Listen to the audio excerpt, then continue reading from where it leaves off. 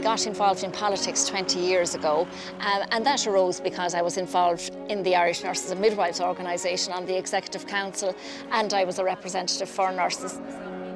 I suppose I was always kind of a bit mouthy, so I, uh, I was recognised that I might be an addition to local politics. In my heart, I'll always be a midwife.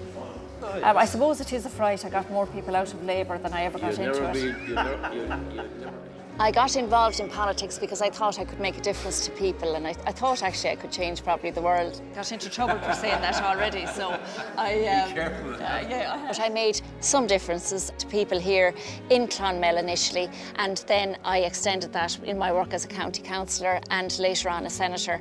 And uh, in the last three years I have really worked hard in Europe being involved in the Consumer Affairs Committee which has a positive benefit on all of us Europeans. To make sure quality of your work. We benefit from positive directives from Europe and it's my job that people know what's available to them in terms of European funding through the LEADER programme, connecting that with the communities. That's going to make their lives better and it does make it better.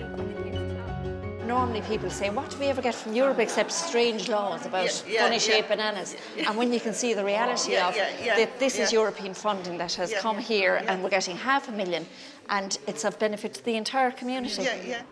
There has been a lot of jobs created in rural Ireland through the administration of this LEADER programme funding from Europe. So I saw it very much as my job to connect the Irish people to what's available and to make better use of that.